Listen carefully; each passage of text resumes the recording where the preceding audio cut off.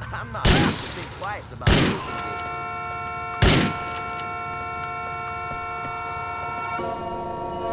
this.